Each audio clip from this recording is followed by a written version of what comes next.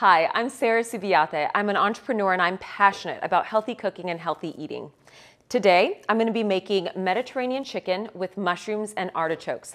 I love being a volunteer with the American Heart Association so I can help share these delicious and healthy recipes with you. Come join us.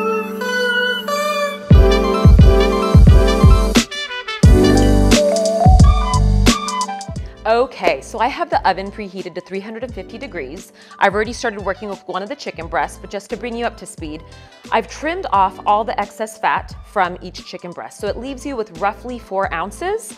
And all I see here is flavor, color, that's exactly what reminds me of Mediterranean recipes. They always have flavor and color. Now, just to walk you through the steps, this is one half cup flour. Throw that right into a relatively shallow bowl and take your chicken breast and make sure you coat it nicely and evenly in this flour. And any type of excess flour, just gently hit it so that you don't have clumps on here.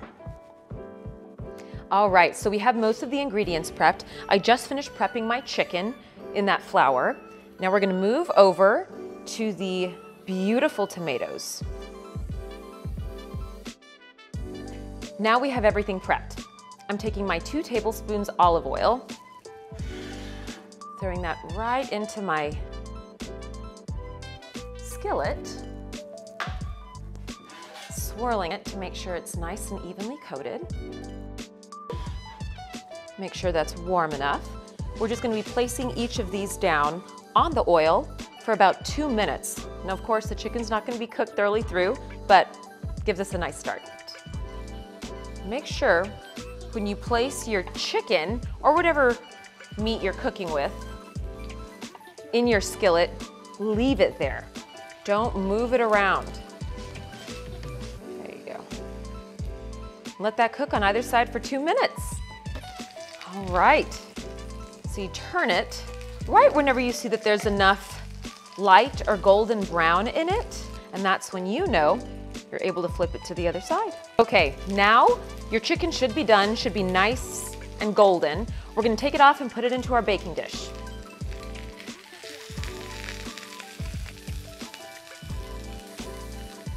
Ooh, it smells so good.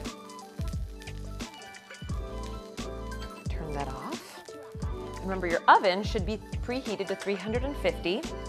At this point, right on the perimeter, kind of outside the chicken, you place your mushrooms. And I always tell people I love to touch the food with my hands. It just gives me this connectedness to it. It's so strange to say, but I love it. You spread it out there along with the artichokes. Now the artichokes, spread them around. So, as you can see, I've added the full six ounces of marinated artichokes and the eight ounces of the button mushrooms to this. We're gonna come over here and we're gonna add every ingredient to this bowl except for the sherry.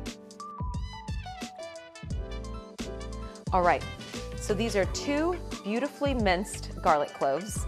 And this here is half a teaspoon of oregano and half a teaspoon of pepper. Add that in here. Like I said, leave that amazing sherry till the end. You mix this together and we're gonna be pouring this over that beautiful chicken.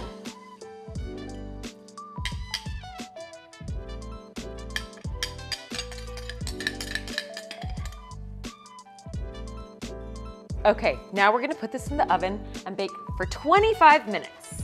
Okay, now I'm gonna grab this delicious chicken and add some sherry to it. Oh,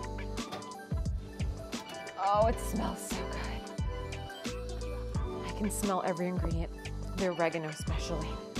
Now, the reason I chose the sherry over, let's say, something like low sodium chicken broth, which is something that you can also use, is because I love cooking with sherry or other types of wine-based sauces because the alcohol actually evaporates oh, whenever you heat it.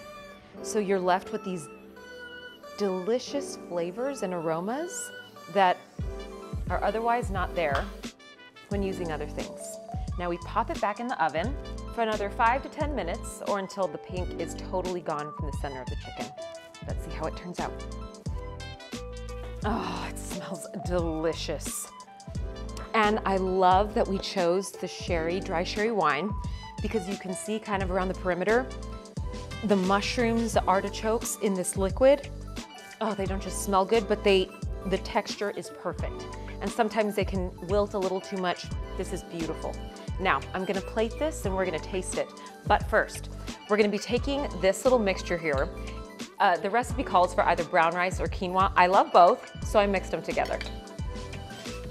You can choose whichever you'd like. And as you see, I've come prepared with my ladle because you cannot eat this without adding all of the goodness. Thank you for joining me in making this food today. This is just one of hundreds of recipes available on the American Heart Association website. It is delicious and it is healthy, and you can go find it at heart.org. Thank you.